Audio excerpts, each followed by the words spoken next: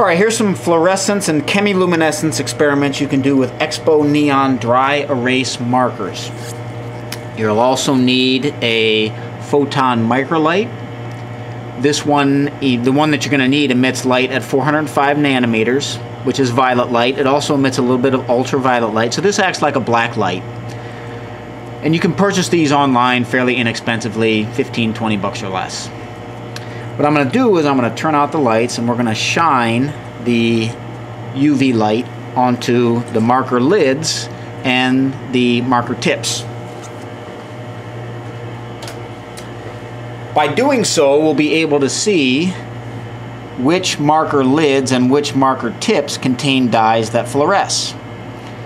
So I can see pretty easily that the uh, pink marker lid, the orange marker lid, and the yellow marker lid, which is fluorescing green, all of those contain dyes that fluoresce, whereas the green marker lid and the blue marker lid do not. I can also tell that the pink marker tip, the orange marker tip, the yellow marker tip, and the green marker tip all contain dyes that fluoresce, whereas the blue marker tip does not. I like to write secret messages to my students with the dyes. So you just take a piece of yellow paper, take your yellow Expo neon marker, and from quite some distance,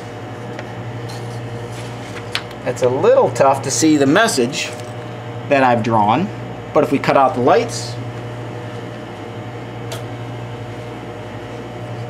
and turn the ultraviolet light on it. Come into focus. Hey, water!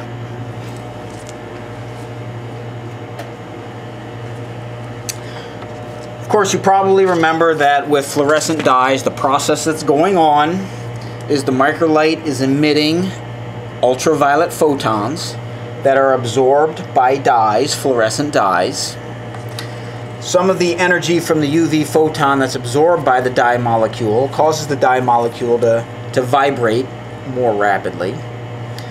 And the rest of that energy is spit off as, or emitted as visible light. Different dyes are going to emit different colors.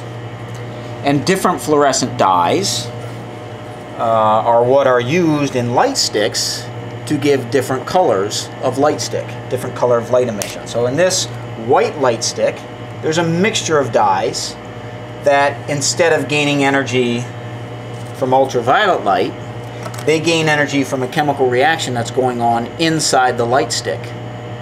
The dyes that gain that chemical energy, they vibrate a little more, but they also use some of the chemical energy to emit visible light different colors of, excuse me, different dyes, different uh, fluorescent dyes, are going to emit different colors of visible light. So if you want a different colored light stick, you just use different, different colored dyes.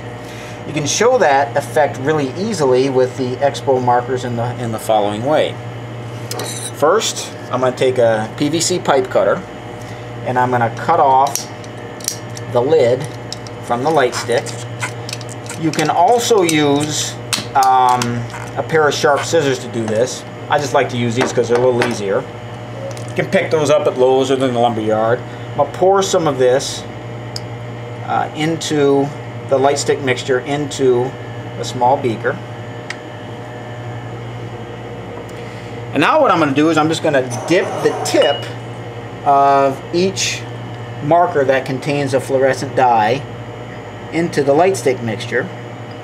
So some of the reactants that are in the light stick mixture that are providing the chemical energy for the dyes in the light stick to fluoresce will provide chemical energy for the dyes in the marker tip to fluoresce. So if I recall the red and the orange and the yellow and the green marker tips fluoresced. So I'm just going to dip those in here. And now the reactants from the light stick reaction should be providing chemical energy to the dyes in the marker tip. And that should cause these dyes in each marker tip to fluoresce with their characteristic color. Let's turn off the light and see how this works.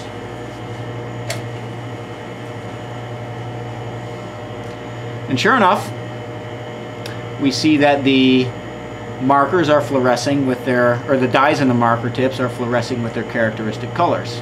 That red's a little tough to see. Let me go ahead and get a little more light stick reactants in it.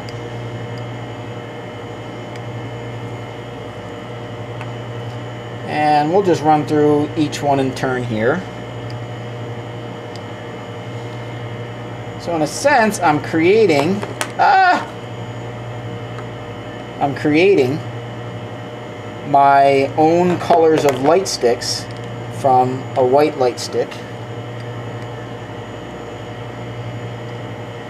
by changing the dyes that are in contact with the light stick reactants.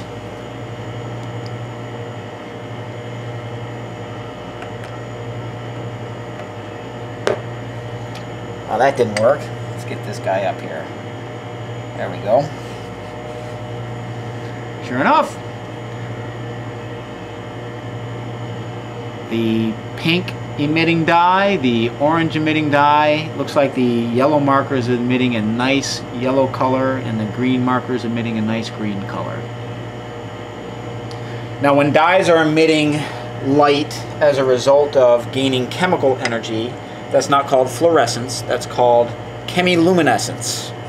So we'd say that we've made these markers undergo chemiluminescence, or the dyes in the markers undergo chemiluminescence.